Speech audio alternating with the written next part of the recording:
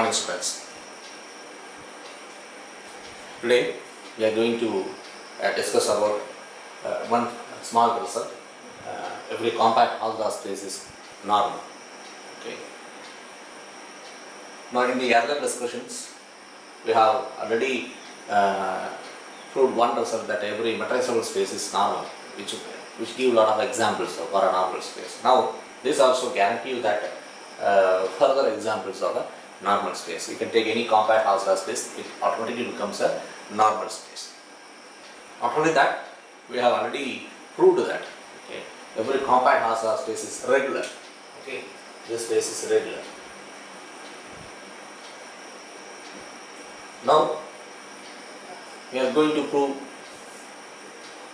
it is also normal. That is every compact Hausdorff space is normal space also. Okay, for that you assume uh, x as a compact Hausdorff space. x is a compact Hausdorff space.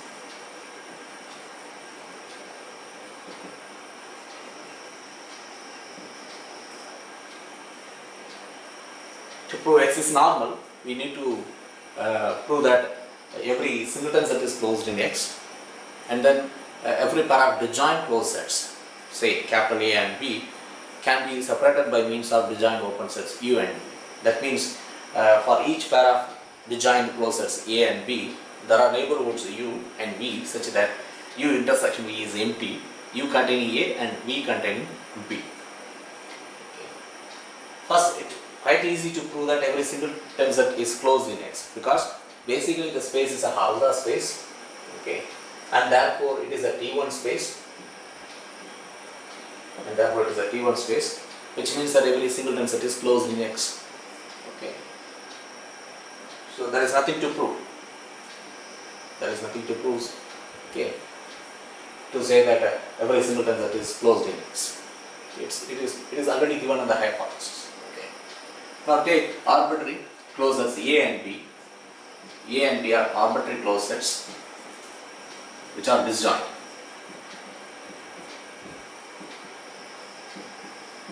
Are. So our aim is uh, we need to identify an open set U which contains the set A and an open set V which contains the set B such that U intersection V is empty. That is uh, A and B can be separated by means of disjoint open sets in X. For that we proceed as follows you, you take a point in A, then obviously this A not a point of B because A and B are designed closer, small a is a point of A. Now look at that, your space, okay, every compact Hausdorff space is regular also, therefore X basically a regular space, X basically a regular space in which there is a closed B not containing the point A. Therefore, by definition, okay, there are open sets u suffix a and an open set v suffix b which depends mainly on the point a okay and also the set b such that a is a point of ua vb contains okay, the set b and ua intersection p suffix b of a is equal to empty that is this A and that is point A and the set B can be separated by means of disjoint open sets. In X. Okay. As we varies the points okay uh, A over the set capital A okay? We vary the point A in A okay? In each time we are obtaining the open set UA and the corresponding set VP of A okay? Then you are getting a collection of open sets Okay. If we do the process for each and every point of A, you get a collection of open sets, okay, which contains the point A and a collection of open sets respectively contains the set B for each point of A.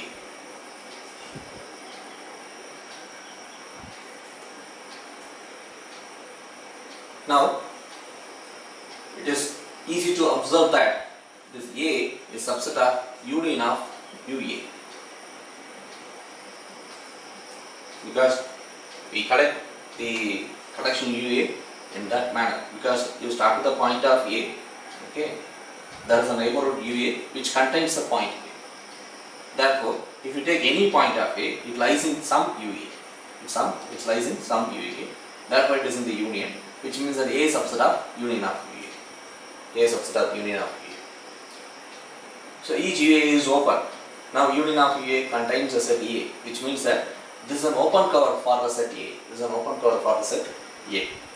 Where your A is also closed in a compact set. Therefore, A basically a compact set. And A is compact. Closed subset of a compact space is compact. Therefore, A is compact. Here is an open cover for A. Therefore, by definition, there is a finite subcover. So there are there are points. There are points. Say A1, A2, etc. AK in A such that uh, capital A subset of UA1, union, UA2, union, etc. union, UAK. A is covered by finitely many open sets of this collection. You put this uh, union, finite union of UAI as capital U, as capital U. Okay. Then U is obviously an open set which contains the set A. Observe that how you uh, connect this UA for each A in A, you uh, you note out that A not in B, therefore by regularity you are obtaining UA and VB, therefore VB of A and UA of A are different collection, okay, two different collection with this property, UA intersection VB of A is empty for each A. Therefore, for UA1 we already obtained VB of A1 and for U A2 we already obtained VB of A2 etc. VB of AK for UAK such that this intersection is empty. These two have no common point. This intersection is empty. These two have no common point and UAK intersection VB of AK is also empty. Okay. Suppose if we take this intersection, finite intersection of VB of AI as your U, sorry, as our uh, B, as our B, set B. Then it, it is clear that B is also open. So U is already open, which contains the set A. Now V is an open set. Okay. Each VB is an open set containing B. Therefore, this B contains the set B because in each set B is a subset. Therefore, inter, in the intersection B is also a subset. So, we are obtaining an open set containing B. We are obtaining an open set containing. So, almost we uh, we are at the end of the proof. So, uh, for the for the disjoint was A and B. Now we obtain an open set U containing A and B containing B. So next our aim is U intersection B is empty. U intersection B is empty. That is uh, the previous uh, compact Hausdorff space is regular. We done this. Okay, already we done this uh, method. Z belongs to U. Z belongs to U, arbitrary point. Okay, implies that Z, Z in uh, U A I for some i for some i equal to 1 2 etc k so we chosen we have chosen uh, we have taken z as an arbitrary point of view therefore z is uh, in the union of these sets therefore z lies in some of the UEI. we have taken this one and therefore okay that not in the respective VB of AI for the same I. Why? Because UAI and VB of AI have no common points. Have no common points. Therefore, Z is not a point of this VBI, VB of AI. And therefore, Ez is not is a point in the intersection because uh, in order that Ez is a point of V, okay, it must be point of V of ai for every i between 1 and the k. Okay. Now you, you say that Z is not a point of V of ai for some i. Therefore, okay, therefore Z is not in V, which means that U intersection V is empty because every point of U is not in V, which means that U and V have no common points. Now summary is what we have proved already. Algorithms implies X is a T1 space, that is every singleton set is closed in X.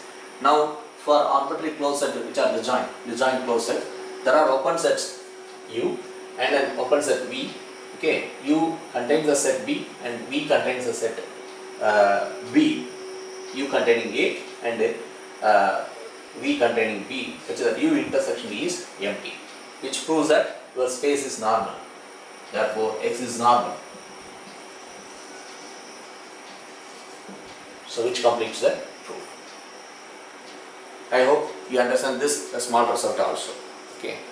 I hope to get more results in the next videos.